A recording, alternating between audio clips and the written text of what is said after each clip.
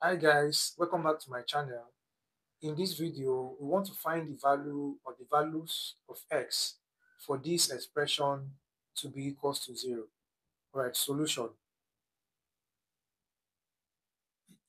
For this expression to be equals to 0, it means that the numerator, it means that the numerator must be equals to 0.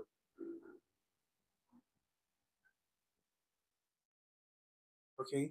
And then what's our numerator. Our numerator is 3x squared minus 12x it must be equal 0 once our numerator is equal 0 then the whole expression is also equal to 0 right so now what do we do? We can factorize this we have 3x is common.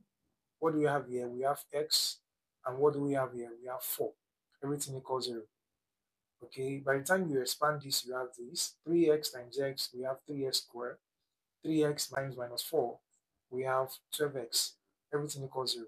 Then this 3x equals 0, 3x equals 0, and then we have x minus 4 equals 0. We divide both sides by 3 here. Alright, so when we divide both sides by 3, we have x equals to 0 divided by 3, and 0 over 3 is same thing as 0. So our x can be 0. And here we call it like times. x equals to, we bring this minus 4 to this side, it becomes plus 4. So x equals to 0 or x equals to 4. Alright, so the, these are the values of x that will make this expression to be equal 0. Alright, now let us try this let us try this.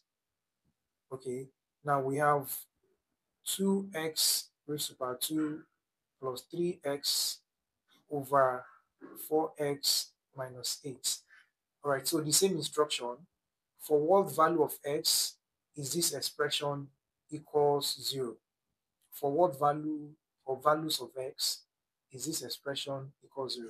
All right, so I want us to write our answer in the comment section. Alright, thanks for watching guys. Please don't forget to like, comment and also share. And if you have not subscribed, please subscribe. Thank you.